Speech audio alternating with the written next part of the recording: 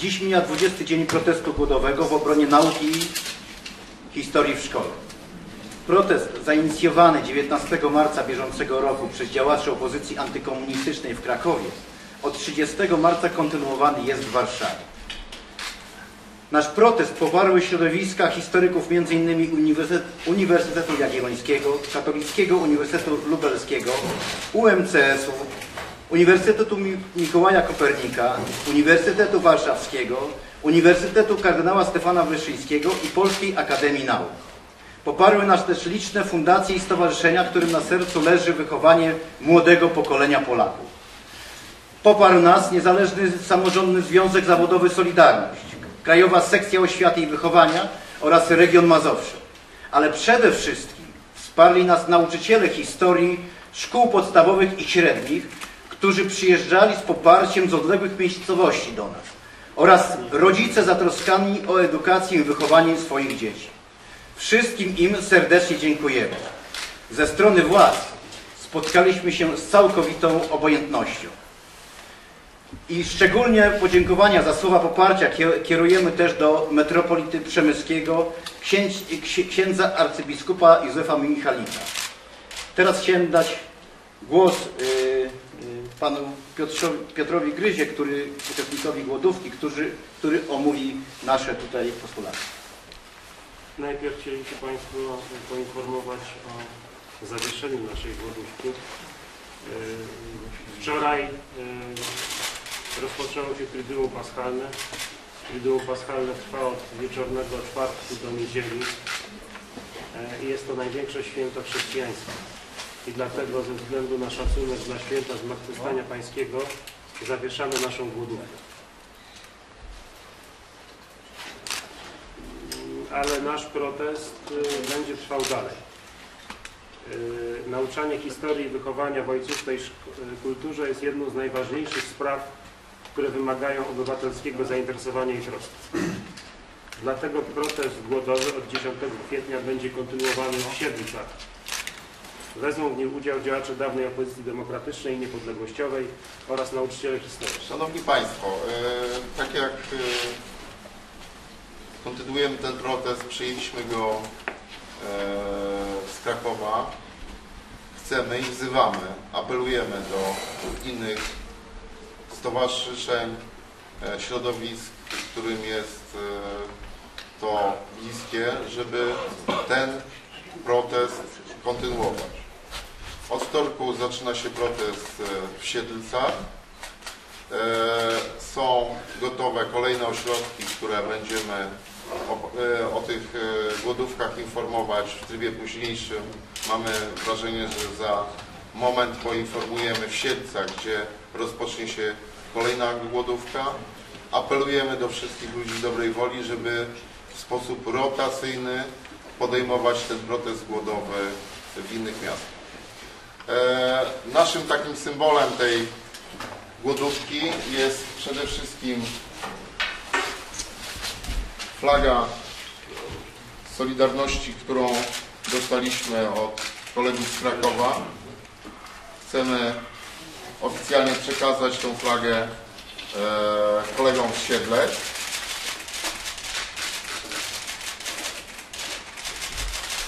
Zapraszam. To jest kolega, który pewnie coś potem powie w sprawie organizacji Siedlec.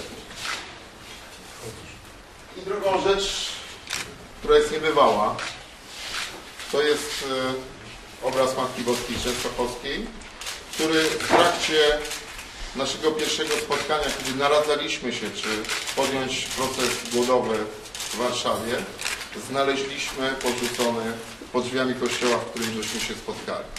To jest też dla nas znak, że nie tylko sprzyjają nam środowiska, e, którym leży na sercu niepodległość i historia Polski, jak i również mamy wsparcie od Marii. I ten obraz też przekazujemy koledze z Siedlec. Do zobaczenia w Siedlcach.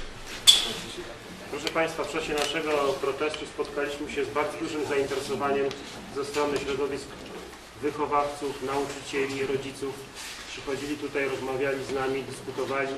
Poznaliśmy kilka propozycji zmian programowych, y, propozycje rozwiązań systemowych. To były naprawdę ciekawe dni, takie dni troski o, o wychowanie i, i wykształcenie naszych dzieci. W odpowiedzi na to zainteresowanie obywatelskie, z którym spotkaliśmy się w czasie naszego protestu, informujemy, że zamierzamy powołać do życia obywatelski ruch wychowawczy, który ma być wsparciem dla polskiej szkoły. Zależy nam na tym, aby zainteresowanie polską szkołą objęło nie tylko ekspertów, ale szerokie grona rodziców i wszystkich tych, którym zależy rodziców, nauczycieli, wychowawców i wszystkim tym, którym, którzy rozumieją wspólną odpowiedzialność za wychowanie naszych dzieci. Chcemy, aby prawda nie była luksusem dla elit. Nauczanie historii, kultury i języka polskiego powinna być dostępna dla wszystkich. I to w sensie ogólnym i w sensie szczegółowym. Żeby dzieci znały swoją, żeby dzieci znały polską historię. Naszą inicjatywę zamierzamy budować wspólnie z inicjatywą krakowską, to znaczy Obywatelskiej Komisji Edukacji Narodowej i na pewno e, powstały ruch będzie jedną organizacją. Także zapraszamy i zachęcamy do propaga- propagowania. Szanowni Państwo, chcieliśmy przy tej okazji bardzo serdecznie podziękować przede wszystkim Stowarzyszeniu Wolnego Słowa za to, że nas tutaj gościło, udostępniło nam to miejsce i bardzo nas y, tutaj cały czas wspomagali. Bardzo serdecznie dziękujemy Wam. Chcieliśmy podziękować też y, y, zarządowi regionu Mazowsze Solidarności, a już w szczególności panu doktorowi Jackowi za, za, za bardzo troskliwą opiekę nad nami przez cały ten czas. Y, Bardzo dziękujemy panie doktorze. Panie doktorze, niech Pan się pokaże. Tak jest. Dziękujemy Panie Doktorze. I chcieliśmy też podziękować. że powierzyliście mi swoje zdrowie i jednocześnie ciężką bardzo odpowiedzialność. Yy, Poczuwałem się do tego, żeby sprawować nad Wami tą opiekę na tyle, żeby pomóc Wam w wytrwaniu w słusznej sprawie, z którą się utożsamiam nie tylko jako człowiek Solidarności, ale również jako lekarz, ale również, żeby nie odbyło się bez jakichś istotnych konsekwencji. A Państwu, Państwa informuję również jako lekarz, że proszę o wybaczenie. Ja osobiście się cieszę, że ten proces się, jak słyszę, kończy, dlatego że były pierwsze objawy wycieńczenia e, e, organizmu i e, dalsze jakby głodowanie było, byłoby się na pewno ze szkodą dla, dla zdrowia zainteresowanych. Także bardzo Wam dziękuję za to, że umożliwiliście mi sprawowanie jakiejś opieki medycznej nad, nad Wami. Ale z sensem jeszcze mówimy Panie Doktorze. Z dużym zainteresowaniem. Tak, przy wszystkim ja skoryguję, że proces się nie kończy, nasza tutaj głodówka w- w Warszawie jest zawieszona. E, A e, przy, jeszcze przy tej okazji chcieliśmy e, również szczególnie podziękować, bo tu wiele osób przychodziło, nas popierało, deklarowało jakieś, jakąś pomoc, ale, ale szczególnie podziękować Solidarnym 2010, którzy naprawdę tutaj bardzo dużo zrobili dobrego. Dziękuję. Proszę Państwa, y, nasz, nasza y, nie ma związku z działalnością żadnej partii politycznej. Nie jesteśmy związani jak, jako grupa z żadnym ugrupowaniem. Zresztą mamy różne poglądy polityczne. Znaczy ja chciałbym tutaj zauważyć, że nauczanie historii, budowa tożsamości ma też e, związek e, z e, wynikami gospodarczymi. Znaczy takie problemy, które podnoszą ekonomiści, jak niski kapitał zaufania społecznego, jak niska samoocena narodu, nie da się ich rozwiązać bez nauki historii. Znaczy my powinniśmy być dumni z naszej historii i to, ta znajomość historii e, no, e, e, jest, jest ważna, żeby przeciwdziałać no, właśnie tym podnoszonym przez ekonomistów niekorzystnym zjawiskom, które są w naszym społeczeństwie. Dziękuję. Jeśli Państwo macie jakieś pytania, to jesteśmy gotowi. Jeśli można, Kazimierz Handlowa, Polskie Radio Informacyjne, Agencja Radiowa. Panowie, historii uczymy się w szkole podstawowej, uczymy się w gimnazjum. Eee, w liceum będzie pierwsza klasa, żeby nadrobić zaległości z najnowszej historii. Wiadomo, że w dzieciaków kuleje, już młody postęp, jak się okazuje. Natomiast biorąc pod uwagę e, od drugiej klasy, no to dalej jest przedmiot historia i społeczeństwo i tych godzin jakby sumować z pierwszą klasą jest więcej niż teraz. Po pierwsze, matematyka jest matematyka, można to policzyć, jest mniej. Ale to y, na mnie chodzi tylko o ilość godzin, bo jest mniej. Ktoś tam policzył, jest to na portalach, bardzo konkretnie, jest mniej. Tylko jeśli tutaj była profesor Zofia Zielnicka, profesor Uniwersytetu Warszawy, Wydziału Historii Uniwersytetu, Historii Uniwersytetu Warszawskiego, która w dwu- 2008 roku z grupą historyków protestowała przeciwko te, temu projektowi, która wzięła te moduły, te moduły do ręki i tu pa- by Państwo y, nie przyszliście wtedy, bardzo konkretnie, na konkretnych modułach, punktowo rozłożyła ten projekt absolutnie na łopatę. W tym projekcie człowiek się nie uczy historii. Tym, tym projektem się człowiek bawi. On sobie pozna, jaka, jakie jest życie. Z tych dziewięciu modułów, które tam są, jest jeden moduł, który może zawierać to, o co nam chodzi. Dzie- Dziewiąty moduł. I on nie jest obowiązkowy. Z tych dziewięciu modułów wybiera się cztery. Te cztery to jest między innymi tam swojskość, gospodarka, kobieta i mężczyzna, rodzina. I tak sobie młody człowiek będzie latał, prawda? Będzie błyszczał w towarzystwie, bo on na przykład gdzieś tam powie, jakie były stosunki między kobietą a mężczyzną w starożytności, a potem skoczy do wieku XVI. Ale on o historii Polski nie będzie miał zielonego pojęcia, o historii Europy nie będzie miał zielonego Ale pojęcia. kolega Lech przypomniał, że nie wszyscy kończą liceum. Więc jeśli pierwszy rok to jest dokończenie edukacji historycznej, to znaczy, że ci, którzy nie skończą liceum, nie będą znali historii najnowszej. Obowiązek szkolny się kończy na gimnazjum. To jest jeszcze, to jest sprawa całej reformy, prawda? Obowiązek szkolny się kończy na gimnazjum. My chcemy, żeby był obowiązek, obowiązek nauki historii yy, ludzi, którzy opuszczają mury yy, szkoły średniej, żeby byli ludźmi dojrzałymi. Świadectwo maturalne do czegoś zobowiązuje. Jeszcze jedna rzecz, drogi Pani i drodzy Państwo, tak naprawdę to jest dokładnie tak. Funkcjonujemy w pewnym zabiegu socjotechnicznym. Pani Minister Oświaty chce nam dodać do wymiaru nauczania historii takie zagadnienia jak kobieta i mężczyzna i tak dalej, i tak dalej. Żaden, oprócz jednego z bloków, których poproponuje Pani e, Minister, nie kwalifikuje się do nawet szeregu, szerokiego pojęcia historii i z tego się bierze stwierdzenie pani minister, że ona dodaje. Panowie, jeszcze jedno pytanie dla mnie kluczowe, bo wy kilkadziesiąt lat temu walczy- walczyliście o wolność Polski.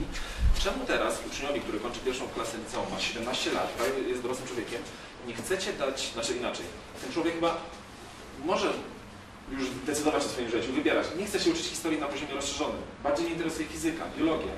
Wystarczy mi wiedza podstawowa, którą zdobyłem w gimnazjum. Czemu nie chcecie dać temu człowiekowi młodemu e, wolności wyboru? Proszę Państwa, Bogdan Skaradziński jest z wykształcenia ekonomisty, a jest znakomitym historykiem. Napisał piękne książki o wojnie polsko-bolszewickiej 20 roku. Dlaczego, to ja odpowiem Arebur.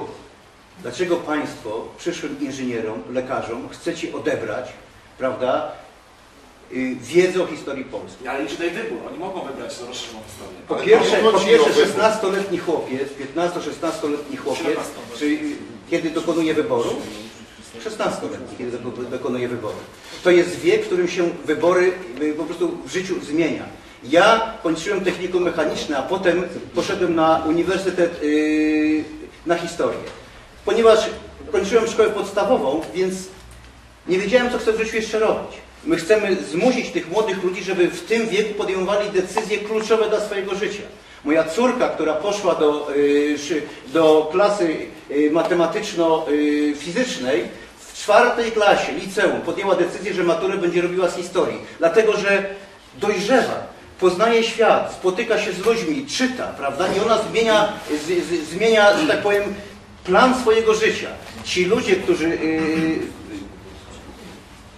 nie możemy odebrać, nie możemy z, zmuszać ich i w ten sposób pozbawiać, bo nie spotkają się z tą historią i mogą już potem jej się nie nauczy. Pan powiedział, że my walczyliśmy o wolność i powinniśmy tę wolność wprowadzać, dać uczniom szkół średnich. Otóż ja powiem, że my walczyliśmy o wolność dlatego, że znaliśmy historię Polski.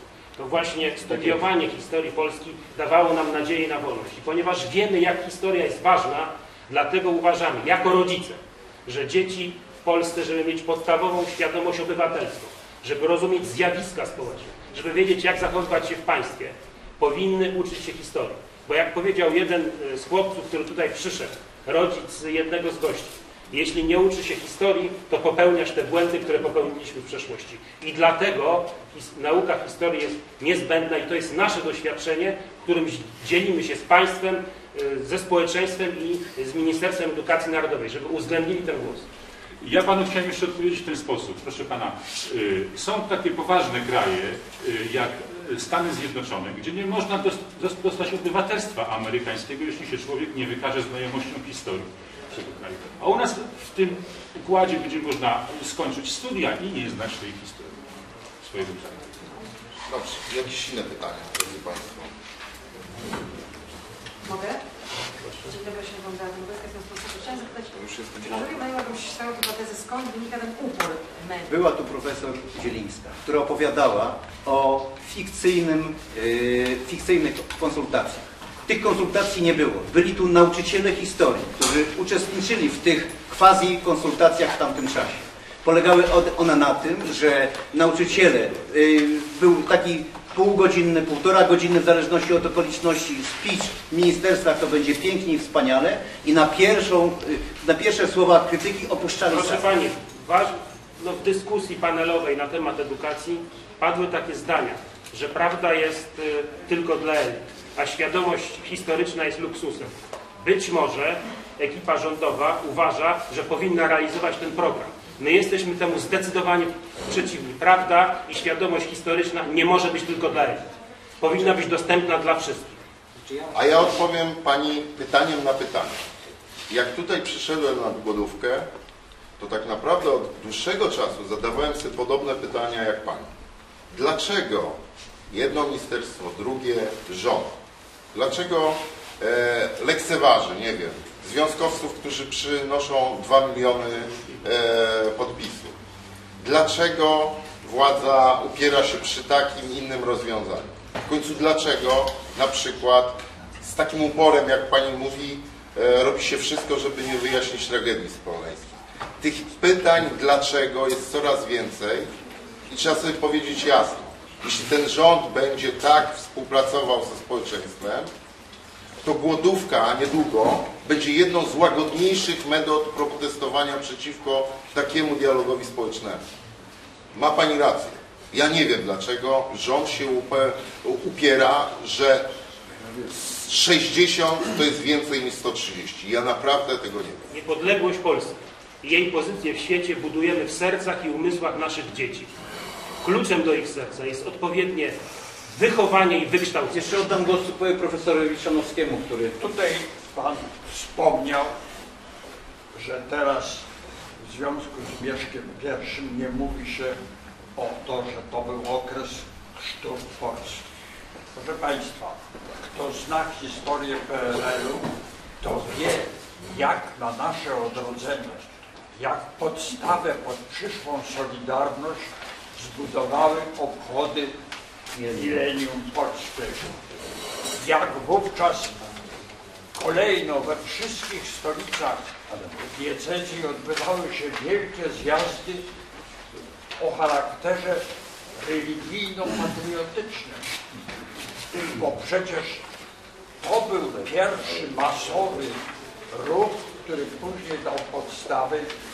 Druga faza to była Solidarność. Więc wiadomo, tutaj widzimy, jak ten fakt historyczny wpłynął na przetrwanie nas przez ten półwieczny okres zniewolenia państwa. Drodzy Państwo, to na końcu ja Państwu wszystkim życzę zdrowych, błogosławionych świąt i aleluja i do przodu. No i smacznego jajka. Czy możemy skończyć?